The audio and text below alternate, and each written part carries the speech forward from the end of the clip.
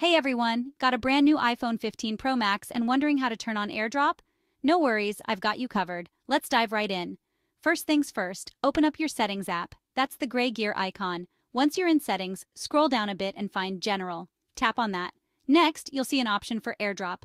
Go ahead and tap on AirDrop.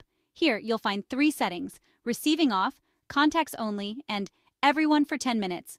All right, let's break these down. Receiving off means no one can send you files via AirDrop. Not ideal if you're trying to share something quickly. Contacts only is a bit safer. Only people in your contacts can send you files. Perfect if you're sharing stuff with friends or family. And then there's everyone for 10 minutes. This one's super handy. It lets anyone nearby share files with you, but only for 10 minutes. Great for sharing photos or documents in a snap at a meeting or party. When you select any of these options, AirDrop will automatically turn on Wi-Fi and Bluetooth for you. Easy, right? And just like that, you're all set. Now you can share files effortlessly with your new iPhone 15 Pro Max. Thanks for watching. If you found this helpful, don't forget to give it a thumbs up and subscribe for more quick iPhone tips.